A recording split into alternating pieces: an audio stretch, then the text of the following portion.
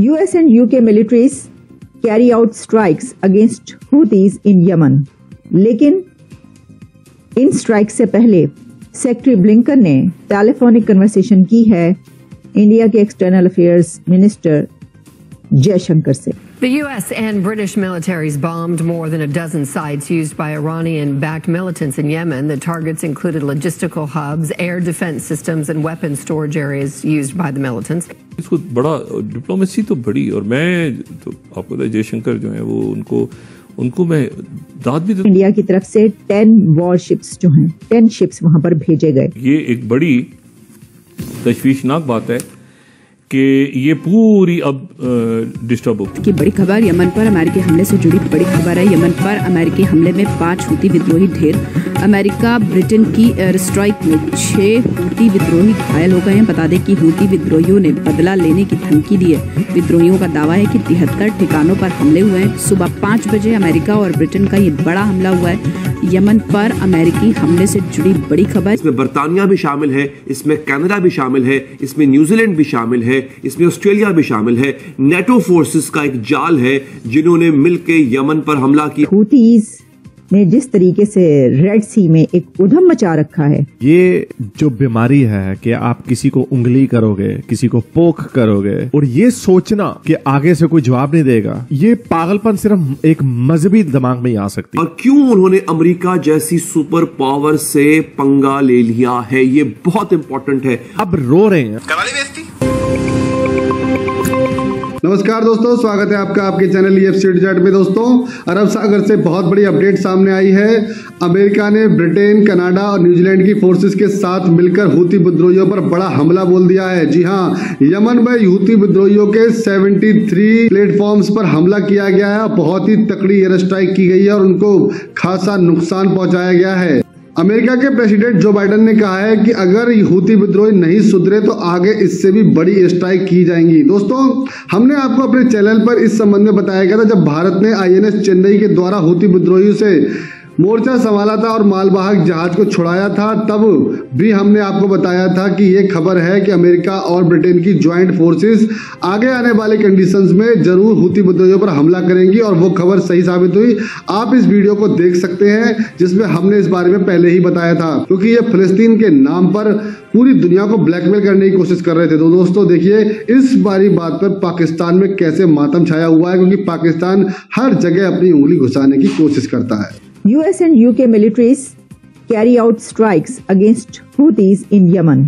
लेकिन इन स्ट्राइक से पहले सेक्रेटरी ब्लिंकन ने टेलीफोनिक कन्वर्सेशन की है इंडिया के एक्सटर्नल अफेयर्स मिनिस्टर जयशंकर से वो किसी एक मुल्क की बड़ी खबर नहीं है, बल्कि वो इस दुनिया की बहुत बड़ी खबर है, क्योंकि इस खबर के बाद हमास और इसराइल की वो जंग जिसपे कई महीनों से बात हो रही है, अब वो जंग एक बहुत बड़ी जंग में तब्दील हो सकती है। इसकी वजह यह है कि इसमें पहले ही कई फरीक शामिल हो चुके थे और ये मल्टी फ्रंट वॉर बन चुकी थी, लेकिन अभी तक यूएस, यूके या ऐसे कंट्रीज़ ने इसमें प्रैक्टिकली हिस्सा नहीं लिया था कि जिसके बाद ये कहा जाए कि अब ये जंग कहाँ तक पहुंचेगी।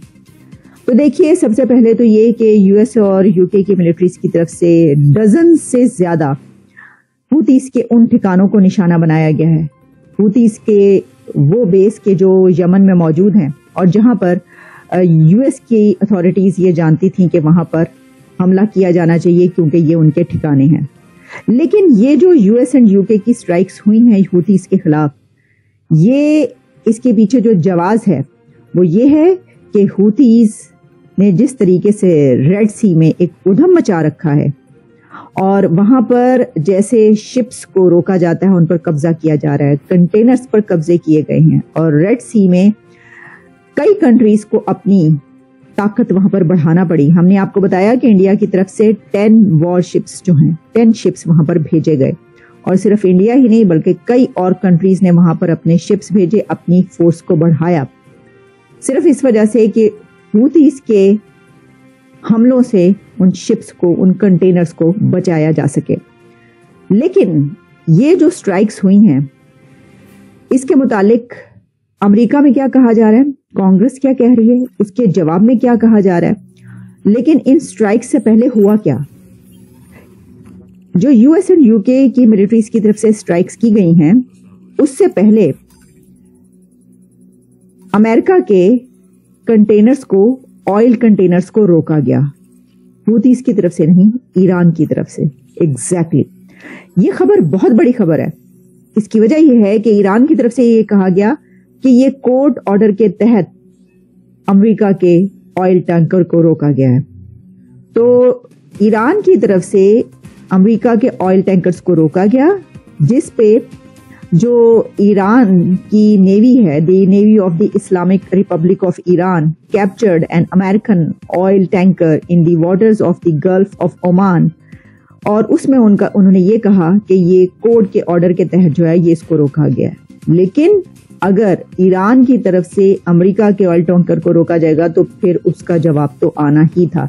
इसकी वजह यह है कि अभी तक जो हमले हो रहे थे, वो हूतीस की तरफ़ से हो रहे थे। अभी तक जो शिप्स कंटेनर्स ऑयल टैंकर्स रोके गए थे।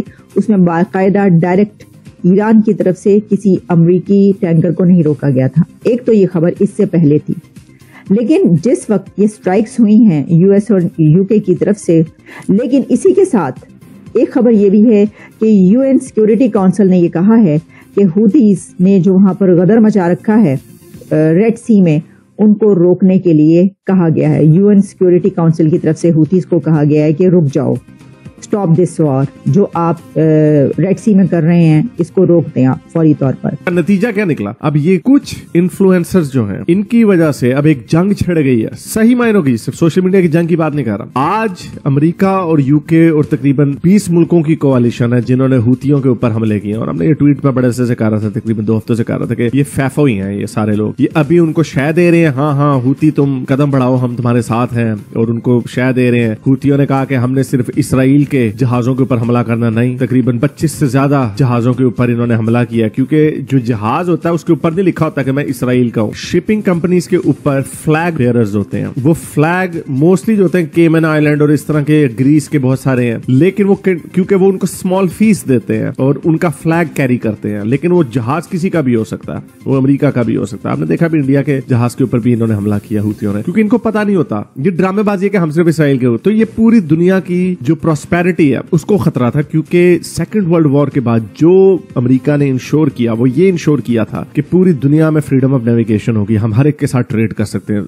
कजाकों का दौर खत्म कर दिया। वो सिर्फ़ इस वजह से मुमकिन हुआ क्योंकि हम अब ट्रेड कर सकते हैं खुल के। तो हुतियों ने उसको उंगली कर दी। इन्होंने अब मोमिन जो, चलो, जो मुस्लिम मुल्कों में रहते हैं, वो तो चलो, कुएँ के मेंढक है ना। ये वो लोग जो अंग्रेज़ी बोलते हैं, बाहर के मुल्कों में वेस्टर्न कंट्रीज़ में रहते हैं। और ये बजाय इसके के वेस्ट के अपने जिस मुल्क का खाते हैं, उसके साथ लॉयल रहे उसी की थाली में छेद करते हैं और उनको हुतियों को सपोर्ट कर रहे हैं। हाँ हाँ वेरी गुड बहुत अच्छे करो करो। ये जो बीमारी है कि आप किसी को उंगली करोगे किसी को पोख करोगे और ये सोचना कि आगे से कोई जवाब नहीं देगा ये पागलपन सिर्फ़ एक मजहबी दिमाग में ही आ सकती है। ये तो आपको ये वीडियो कैसा लगा? कमेंट बॉक्स में ज़रूर लिखिए इस वीडियो को लाइक कीजिए शेयर कीजिए सब्सक्राइब करना ना भूलिए आपके चैनल ई एफ़ को। तो मिलते हैं अगली वीडियो में। जय हिंद।